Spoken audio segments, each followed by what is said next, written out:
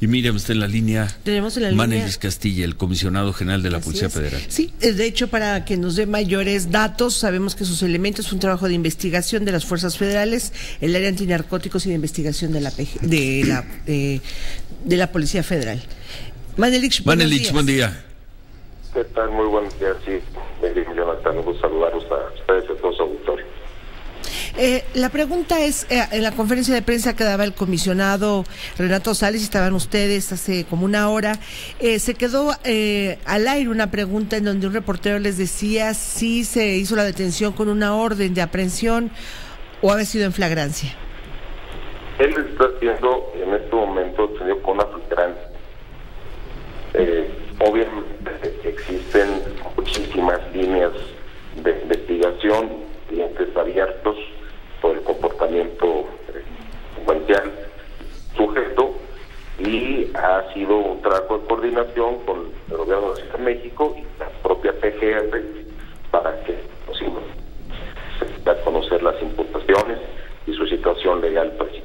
Pero la detención fue por parte de ustedes, fue de la Policía Federal. Sí, elementos de la División Antidrogas de la Policía Federal, en cumplimiento a trabajos de gabinete y campo, logran esta detención y se ponen.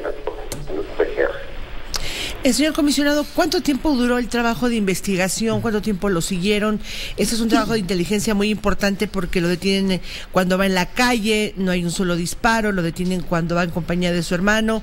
Según eh, los primeros indicios, sería quien le brindaba algún tipo de protección.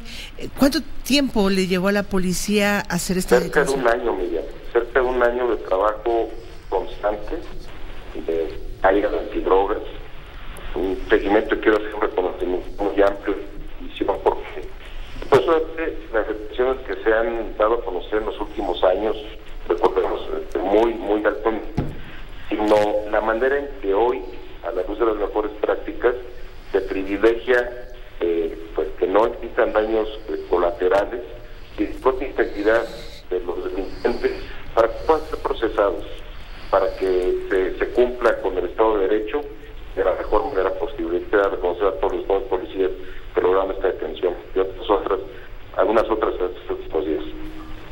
Señor Manelik, eh, le saluda Humberto Pazjet. ¿Qué perspectiva de eh, recombinación de los grupos de la delincuencia organizada hay para la ciudad luego de esta captura? Bueno, esa es una pregunta muy importante.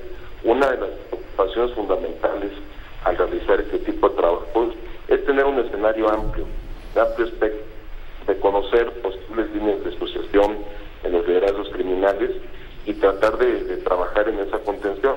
Es el caso, hoy durante la madrugada eh, estuvimos intercambiando información con, instancias eh, locales eh, para que juntemos absolutamente todos los objetivos que pudieran tomar cierta relevancia al ser detenido este. ¿Cuántas organizaciones criminales consideran ustedes que están en este momento ejerciendo o generando la violencia a la que han hecho referencia con respecto, por ejemplo, a lo que ha hecho el Betito? Bueno, vamos a ser como responsable con esta respuesta. Eh, ustedes como medios han dado cuenta de, de grupos estructurados en algunas zonas del área metropolitana. No me gustaría yo abonar a citar o a mencionar eh, cosas que, que, que no abonan a, a constituir un escenario de tranquilidad y seguridad y que necesitan de muchísimos ingredientes para poderse dar a conocer. Ahorita esta organización pues, es un hecho que, que está estructurada, está en la unión de Pepito, como en su momento se ha dado a conocer las detenciones de, otra delegación, que es la delegación Tláhuac, pero nosotros no quisiéramos entrar al, al Bien. Eh, señor comisionado, se habla de que es el principal distribuidor de droga al narcomenudeo en la Ciudad de México, pero ¿con qué otros delitos está relacionado eh, la organización de este del Betito y de cuántas personas estarían ustedes pensando que podría estar integrada? Bueno, con los delitos que se conocen homicidio, particularmente, y, con un nivel de importante en casos de criminales,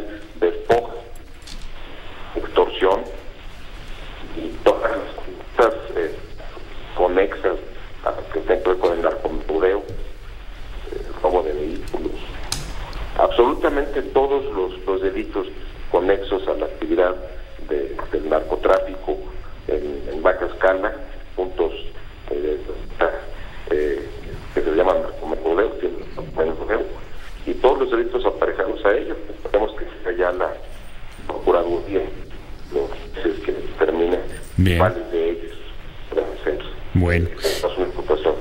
No se parece nada, Manelich, el Estábamos viendo las fotografías, a ver si las podemos volver a poner en la pantalla de, de Telefórmula. No se parece nada el- la foto que conocíamos de esta persona con la del hombre que detuvieron. Ya explicó Renato Correcto. Sales de los cambios que hizo, pero eh, perdón, pero tengo que hacer la pregunta si es la misma persona.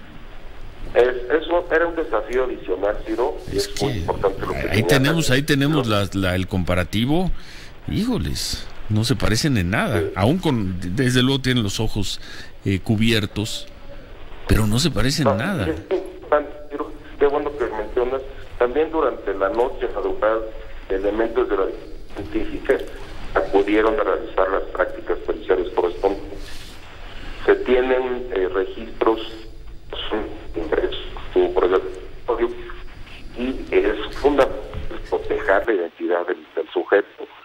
Es, es por eso que la información no fluye como quisiéramos y Bueno, que en el, imagínate, eh, un hombre más reciente no coincide con este campo.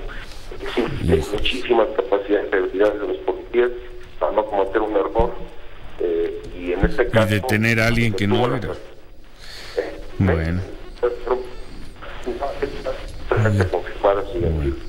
Muchas gracias. Muchas gracias, Manelich. Gracias. Gracias. Gracias. Buen día. Ya al final me imagino que iba en un celular y entró a un lugar Sí, donde sí, no se escuchaba bien. Ya no, ya no escuchaba muy bien, pero dice que sí era, que sí se trata de la misma persona, pues suponemos que sí. No, yo creo Le que hicieron sí. las- un, traba- un, tra- un año de investigación yo creo que los lleva a verificar la identidad del personaje, además de que bueno tienen eh, identificados a su círculo cercano, a su, círculo- a su círculo familiar y fue detenido con su hermano, ¿no? Eso les lleva a la plena identificación. Bueno, pues detenido este señor, a quien le dicen él, El Betito. el Betito. Gracias, gracias Miriam.